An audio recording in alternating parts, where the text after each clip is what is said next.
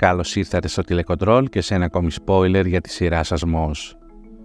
Και ενώ ο Μαθιός δίνει μάχη για τη ζωή του στο νοσοκομείο, χτυπημένος από τη σφαίρα του Νικηφόρου, η επιστροφή του Ανδρέα Βρουλάκη στην Άνω Ποριά καθορίζει τη μοίρα τόσο της δικής του οικογένειας, όσο και των Σταματάκηδων.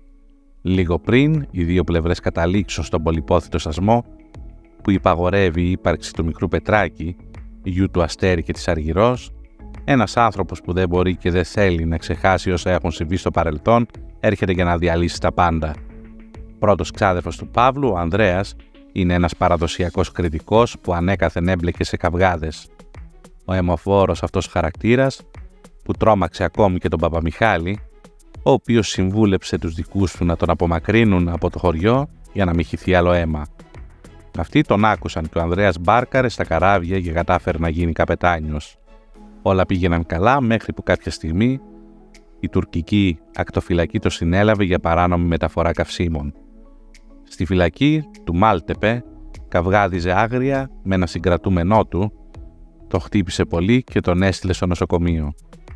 Επιτέθηκε ακόμη και στους δεσμοφύλακες, που προσπάθησαν να το σταματήσουν και καταδικάστηκε σε άλλα τρία χρόνια φυλάκισης. Τώρα που είναι πια ελεύθερος, επιστρέφει στο χωριό, πάνω που ο Παύλος κανονίζει σασμό με τον Λάζαρο και τον Τηλέμαχο.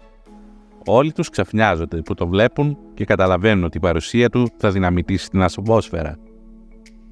Και έχουν δίκιο, καθώς ο Ανδρέας δεν θέλει ούτε να ακούσει για ειρήνη με τους σταματάκιδες, ούτε τίποτα. Αδυνατεί να δεχτεί τη σχέση του Αστέρι με την Αργυρό και δεν διανοείται καν ότι οι δικοί του έχουν αγκαλιάσει το παιδί που γεννήθηκε από αυτή την ένωση. Ο Παύλος προσπαθεί να το συνετίσει, όμως μάταια.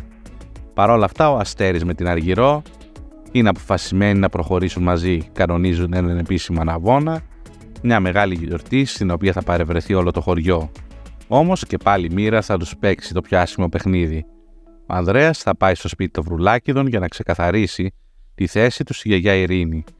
Τη λέει ότι δεν θα αφήσει την Αργυρό να παντρευτεί το σταματάκι και πως δεν πρόκειται να σβήσει όσα έγιναν στο παρελθόν.